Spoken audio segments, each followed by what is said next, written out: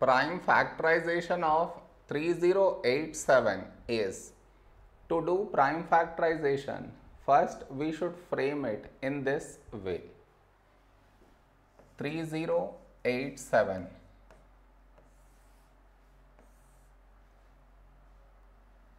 this is your step 1 next.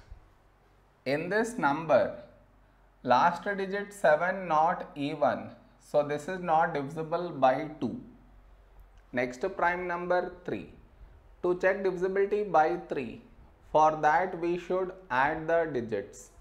What i mean is 3 plus 0 plus 8 plus 7 we get 18 and 18 is divisible by 3 so this number also divisible by 3 so take 3 here first number 3 when do we get 3 in 3 table? 3 ones 3 the other number 0 as it is down.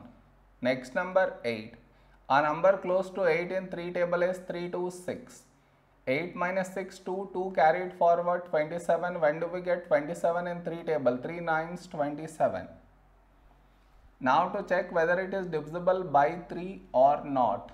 For that add the digits 1 plus 0 plus 2 plus 9 equal to 12 and 12 is divisible by 3 so this number also divisible by 3 so take 3 here First number 1 smaller than 3 so take two numbers 10. A number close to 10 in 3 table is 3 3 is 9. 10 minus 9 1 1 carried forward 12 when do we get 12 in 3 table 3 4 is 12. The other number 9 when do we get 9 in 3 table 3 3 is 9. Now to check whether it is divisible by 3 or not for that add the digits 3 plus 4 plus 3 equal to 10 and 10 is not divisible by 3. So this number also not divisible by 3. Next prime number 5. The last digit is neither 0 nor 5. So this is not divisible by 5. Next prime number 7. Let us check divisibility by 7 here.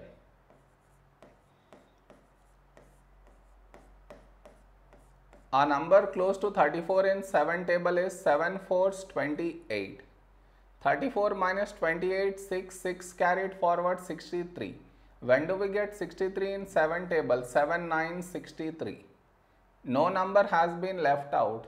So this is divisible by 7. So 7 here. And here we should write this number 49. Now here we have 49.